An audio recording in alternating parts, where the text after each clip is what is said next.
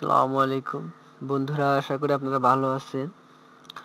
তো বন্ধুরা আজকে আমরা যে বিষয়টা নিয়ে আলোচনা করব মাইক্রোসফট ওয়ার্ড ওয়ার্ডের পার্ট থ্রি পার্ট থ্রিতে আমাদের যে আনুষঙ্গিক বিষয়গুলো আছে সেগুলো আমরা আজকে প্র্যাকটিক্যালি দেখব। তো সে বিষয়ে দেখতে হলে জানতে হলে ভিডিওটি প্রথম থেকে একদম শেষ পর্যন্ত দেখতে থাকুন। তো চলেন বন্ধুরা তো এটা হচ্ছে আমাদের এমএস ওয়ার্ড। তো বন্ধুরা, আমরা এর আগের পার্টে আমরা আলোচনা করেছি ফাইল এবং এডিট সম্পর্কে। তো আজকে আমাদের বিষয়টা হচ্ছে যে ভিউ, ভিউর কাজ। তো এই ভিউর কাজটা আমরা করব।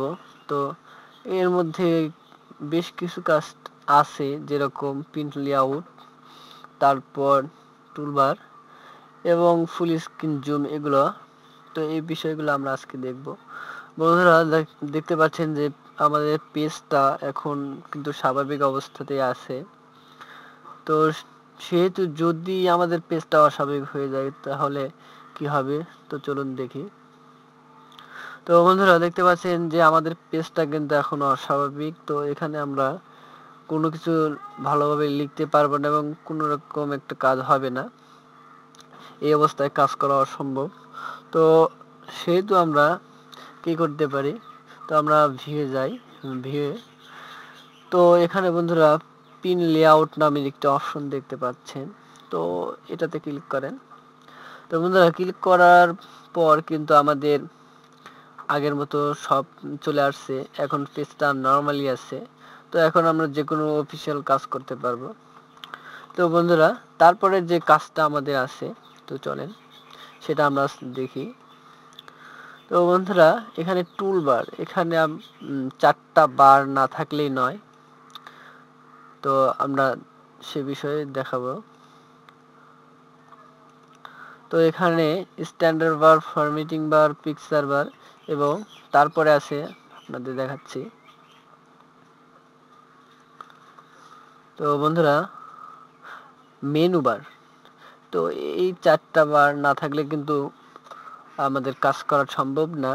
তো আমি আপনাদের প্র্যাকটিক্যালি বারগুলো দেখাচ্ছি। তো বন্ধুরা, এটা হচ্ছে মেনু বার এই বারটা অবশ্যই থাকতে হবে। তো তারপর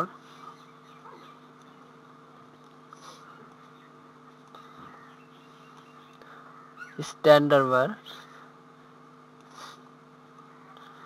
ফরম্যাটিং বার এবং পিকচার বার। তো বন্ধুরা, এই চারটা বার মাস্ট বি থাকতে হবে। না থাকলে আমরা সঠিকভাবে কাজটা করতে পারব না। তো এগুলো দেখালাম। তারপরে এই বারগুলো যদি না থাকে, সেহেতু আমরা কোথা থেকে এগুলো নিয়ে আসতে পারি, তো চলেন বন্ধুরা, সেগুলো দেখাবো।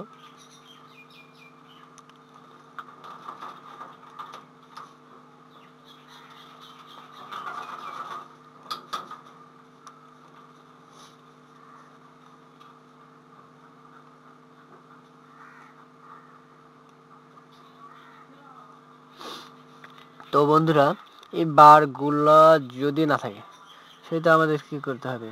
সেহেতু আমাদের যেটা করতে হবে, আমরা ভিউয়ে যাব। ভিউ থেকে টুলবার টুলবার থেকে এখানে দেখেন বন্ধুরা কাস্টমাইজ নামের একটি অপশন তো এখান থেকে আপনার যেগুলো দরকার সেগুলোকে এভাবে চেকমার্ক দিয়ে নেবেন। দেওয়ার পর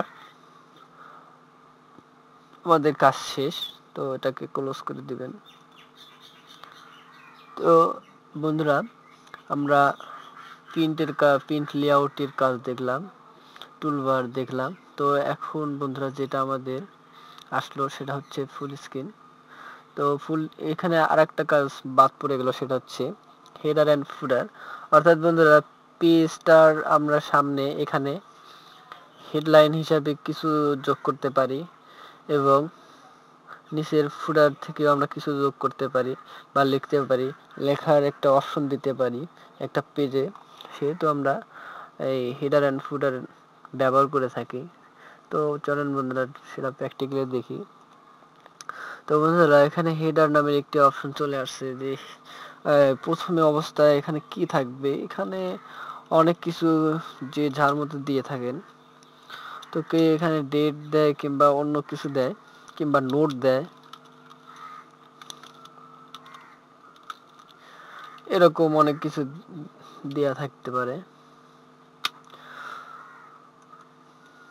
তো বন্ধুরা, তারপরে নিচে ফুটার নামের একটি অপশন আছে। এখানে অনেক কিছু দেয়া যায়, ডেট।